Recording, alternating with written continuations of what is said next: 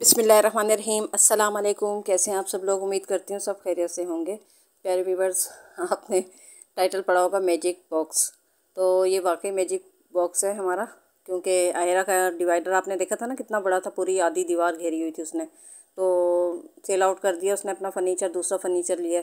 तो उसमें डिवाइडर नहीं लिया उसने। अब ये मसला हो रहा था कि इतने सारे बर्तन कहाँ रखें उसके डिवाइडर के।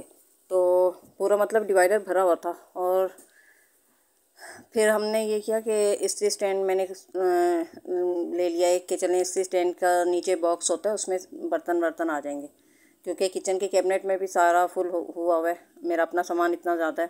तो लेकिन वहाँ पर बिल्कुल जगह ही नहीं थी।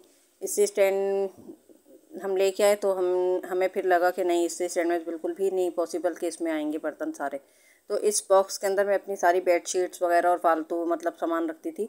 तो इसको हमने कहा इसको यूज़ में लेते हैं हम। ये क्योंकि किचन से बाहर है ये कैबिनेट किचन के जो कैबिनेट बने हुए हैं, वो किचन के मतलब ये रूम के अंदर ये आता है कैबिनेट है तो किचन के साथ ही है तो तो फिर हमने ये पूरा मैंने खाली किया, इसका सब साफ़ सुथराई की। और फिर यहाँ पर सारे बर्तन हमने लगा दिए। अब देखें कि आप बताएँ कि कैसे लग रहे हैं यहाँ पर सारे बर्तन। एक तो बिल्कुल किचन के अंदर ही समझो ये हो गया किचन के साथ ही। तो निकालने में भी आसानी होगी यहाँ से सारे बर्तन वगैरह। और ये सारे बर्तन मैंने इस तरह सेट करके रखे हैं कि जो कम यूज़ में आते हैं ना बर्तन, वो मैंने पीछे की साइड पर सब रख दिए हैं।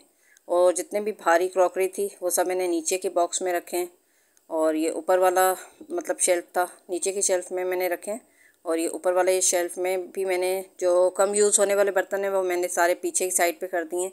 जैसे डिशेस वगैरह ज़्यादा यूज़ नहीं होती।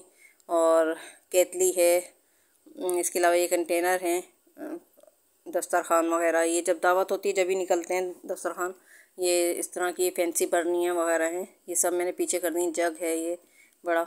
और फिर आगे की साइड पे मैंने ये कर दी हैं जो चीज़ें यूज़ होने वाली मतलब ये गिलास हैं जैसे कि। और कप्स वगैरह हैं, प्यालियाँ हैं और इस तरह की जो भी चीज़ें हैं कि जो मतलब यूज़ में आती हैं। तो वो मैंने आगे की साइड पर कर दी हैं ताकि निकालने में भी आसानी हो।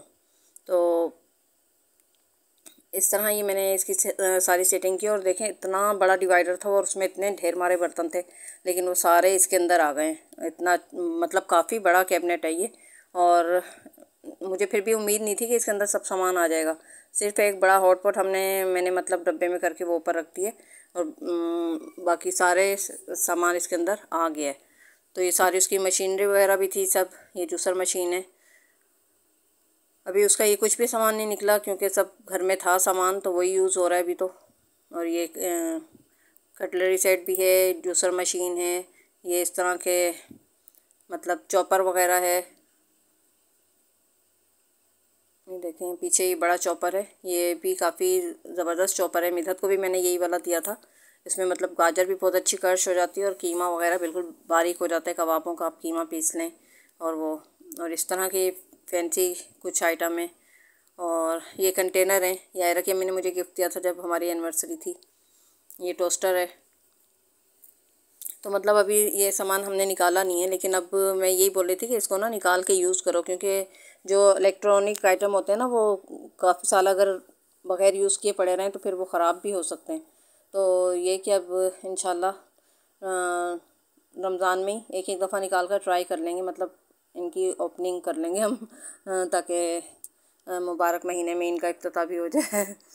तो ये कि अभी तो जो चीज़ें थी, वो चल रही हैं घर के यूज़ की, और जब एक्सपायर हो जाएँगी तो ज़ाहिर ये चीज़ें निकलेंगी फिर। और ये उसका कांच का मतलब सारा डिनर सेट है, मार्बल है, ये कांच है, क्या है, पता नहीं। तो और ये केक बनाने के इस तरह के मैं वो लाती हूँ तो वो भी मोल्ड, वो भी मैंने रखे हुए ये पीछे, ये इस तरह की ड्राई फ्रूट प्लेट्स हैं। ये इस तरह मतलब जो यूज़ में नहीं आते, बर्तन, वो मैंने पीछे की साइड पे सब कर दिए और ये कांच का डिनर सेट मैंने ये मतलब मार्बल का नीचे रखा है, ताकि इसके वज़न से वो कैबिनेट वो ना हो। तो ये मैंने सारा सामान नीचे रखा है, कांच का सारा ताकि टूटे फूटे नहीं और वो भी ना हो।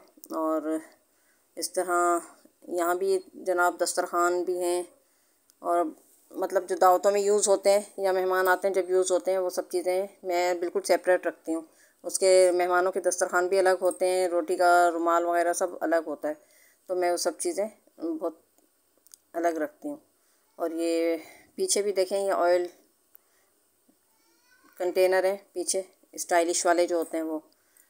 और वो भी सब चीज़ें ये पीछे रखी हुई हैं। और इस तरह कांच के जो नाजुक बर्तन हैं और ये सब चीज़ें ये सब पीछे की साइड पे मैंने रख दी हैं। ये जग भी ज़्यादा यूज़ में नहीं आता तो इसको भी फिर मैंने नीचे रख दिया है, पीछे की साइड पे करके। और ये भी ऑयल की बोतल है, ये भी बहुत प्यारी सी है स्टाइलिश सी। तो ये भी अभी मेरे पास हैं, जो यूज़ हो रही हैं। जब देखेंगे, इन्हें भी बाद में निकालेंगे। कप्स वगैरह हैं, ये मैंने आगे की साइड पे करके रख दिए ताकि कभी मेहमान आते हैं तो यूज़ में आ जाते हैं ये वाले कप। और इसी तरह ये सब चीज़ें जो यूज़ में आती हैं वो मैंने आगे कर दी हैं। इस तरह ये बड़ा बाउल भी एक में सेपरेट रखती हूँ मतलब मिक्सिंग वगैरह करनी होती है किसी चीज़ को।